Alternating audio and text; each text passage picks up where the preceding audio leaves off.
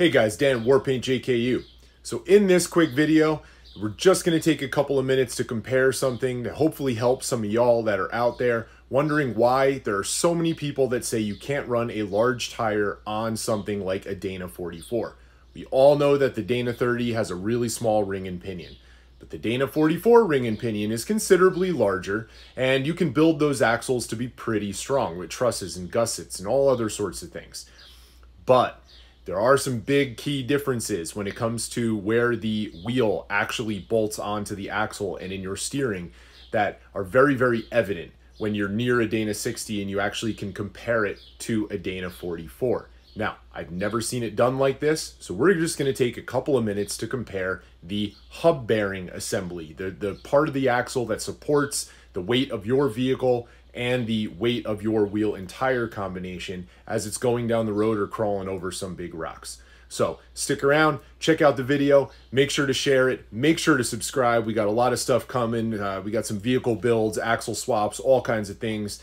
But uh, this video should clear it up, okay? Because I used to be one of those people. I was one of those people that thought that my built Dana 44 could handle a larger tire, especially when you consider the weight of some of those heavy 37s versus some of the lighter 40s. There's not much difference. And it was hard for me to understand why a tire that's only a few pounds heavier was looked down upon uh, on something like a Dana 44. But this will definitely help clear that up for you. So stick around, check it out.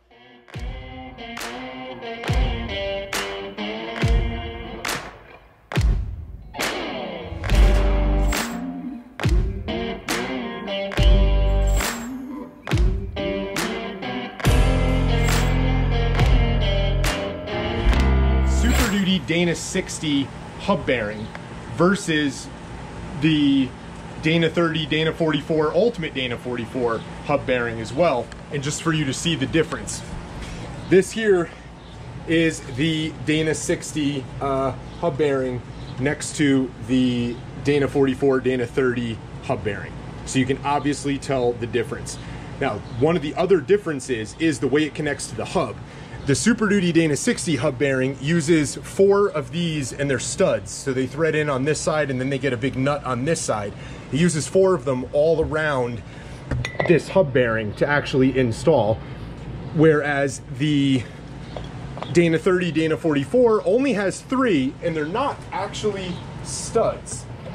They're gonna be bolts and they're considerably smaller than the ones on the Dana 60. But it's got three of them, right? Supposed to four, four larger ones. Obviously, the size of the axle shaft in here versus the size of the axle shaft in here is way different. Um, and you got eight lugs instead of five, right? And even the lugs are bigger. So again, when it comes to running like that 40 or a bigger tire on a Dana 44, you know, the Ultimate Dana 44 is a great axle housing and it can definitely handle a pretty large tire, especially if you're not gonna be abusing it off-road. But if you are going to be abusing it off-road or even driving it on-road, you got to remember the knuckles are the same size, the ball joints are the same size, the hub bearing is the same size, even the brakes are the same size, right? So just something to think about. All right, guys, so there you have it, right? Uh, Super Duty Dana 60 versus the Dana 44, Ultimate Dana 44, Dana 30 wheel hub bearing. So we still haven't talked about some of the things uh, like the the size of the knuckle, the size of, you know, the ball joints, the size of the axle shafts, U-joints, things like that still have not been mentioned in this particular video. I did talk about some of those specifics and show those in some of the other videos.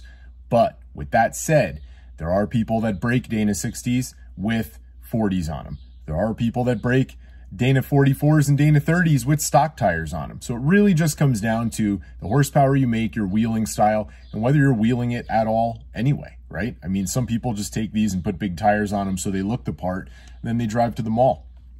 Anyway, guys, hope you enjoyed the video. Hope it helps some of you guys out to see them side by side that maybe have never seen them that way before. Make sure to subscribe. A lot more stuff coming.